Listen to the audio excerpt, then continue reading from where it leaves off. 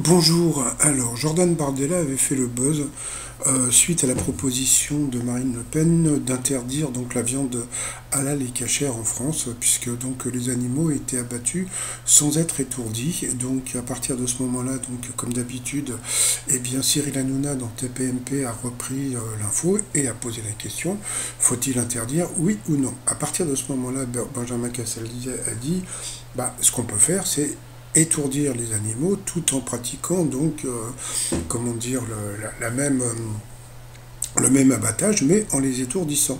Et à partir de ce moment-là, eh bien, Cyril Hanouna, non, non, non, faut me répondre, c'est oui ou c'est non. Bah oui, euh, c'est du n'importe quoi. Pourquoi, pourquoi il ne peut pas accepter le fait qu'on accepte que les, euh, que les animaux donc, euh, soient cachérisés ou halalisés, donc en étant étourdis. Et, il paraît que dans certains pays, ça se fait, donc je vois pas pourquoi.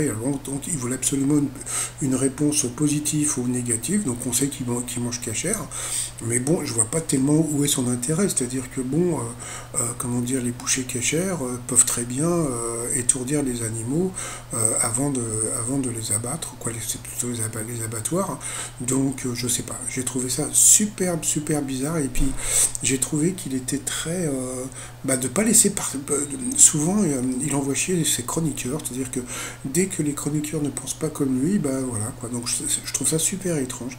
Donc c'est pour ça qu'hier j'ai regardé juste cette séquence et après j'ai zappé parce que franchement c'est du n'importe quoi. Allez pour vous abonner à ma chaîne, c'est en bas à droite. Et puis bah à plus tard.